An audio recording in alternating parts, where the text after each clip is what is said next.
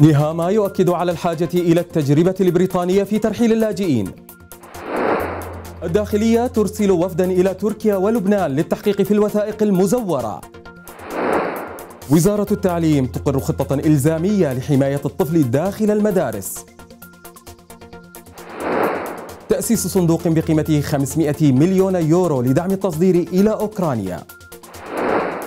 اعتقال طالبي لجوء هنديين متهمين بجريمة قتل في بريطانيا. النمسا تشهد تغييرا جذريا في آلية جباية فواتير الكهرباء.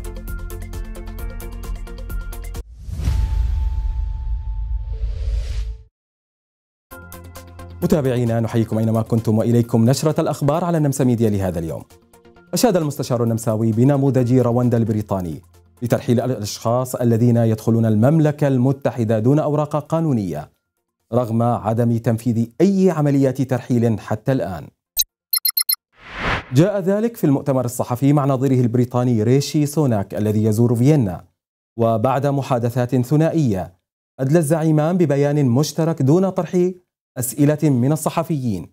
ووصف نيهامار بريطانيا بأنها رائدة في الاتحاد الأوروبي مؤكدا على الشراكة الاستراتيجية لضمان إجراءات عمليات اللجوء في دول ثالثة آمنة حسب وصفه.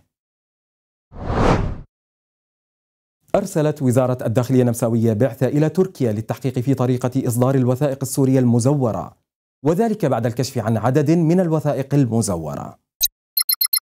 وفي إطار جهود لم شمل الأسرة زار مسؤولون نمساويون تركيا لتبسيط العمليات وتجديدها ومن المقرر أيضا إرسال بعثة أخرى إلى بيروت لاستكشاف الأمور بشكل أعمق. وفي مواجهة هذا التحدي يعتمد المسؤولون على اختبارات الحمض النووي للتحقق من صحة الوثائق وهو إجراء يكلف 270 يورو ويتوقع أن يطبق بشكل أكبر في المستقبل.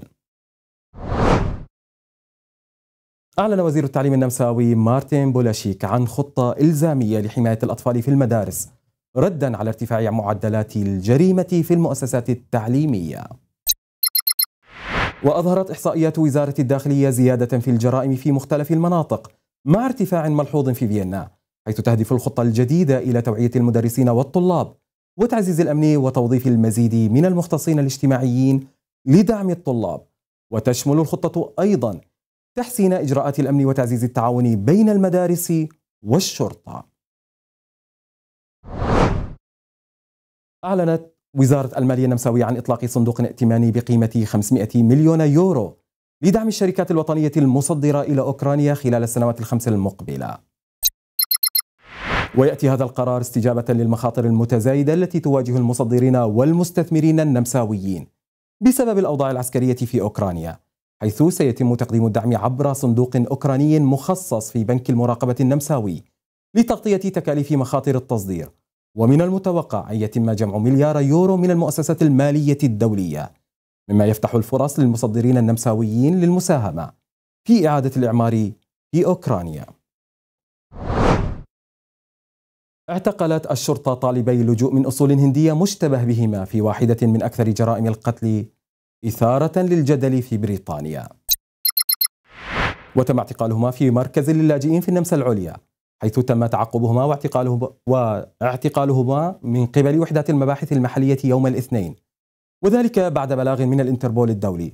ويشتبه في أنهما شاركا مع سبعة آخرين في قتل مواطن هندي في أغسطس 2023 بمدينة شروزوبيري شروزوبيري البريطانية.